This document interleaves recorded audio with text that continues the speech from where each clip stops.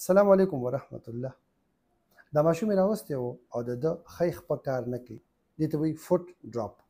دې ماشوم ته په کوناټي ستن وهلې شوې وه او د هغې نه وروسته د ده خپه فعالج شوله دا ستن کو زه وخم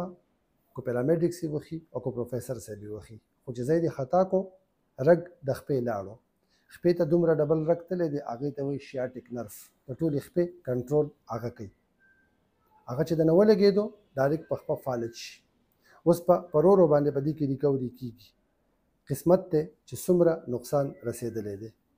هر ماشوم چې د 15 سال نه پکته دغه لاس خپه او یا خپې کار پری دی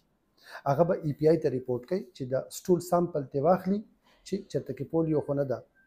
که پول یې وي او که نه وي ټیسټ په لیږل غواړي دا قانون دی اوس دې ماشوم مې دوايانو ته ضرورت پاتې نشو دې دپاره یو بریس جوړیږي هغه ته وي انکل فوټ ارتوسز ایفو هغه د خپل سپورټ ورکړي دغه شانتي فزیوتراپي الکتریک سټیمولیشن او ایکسرسایزز په دې کې فائدہ کوي نرو کنډکشن سټډي ټیسټ په وته وکړو خو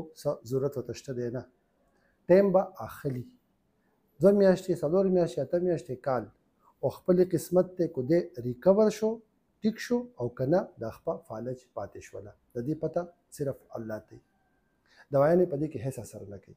د ټولو نه اهم خبره زما او ستاسو ذمہواري دا ده چې مونږ کله ستن وخو چې هغه ځای وپیژنو بره طرف او سایت ته چې په دې کې ستن وخی نو د لګ د لګېدو چانس په پکې نه وي نو که چېرې دغه ولګېدو بس اوس قسمت ته به خبره پرېږدو او ورزشونه به کوو فزیوتراپي به کوو نو په ستن کې احتیاط ډېر زیات ضروري دی الله پامان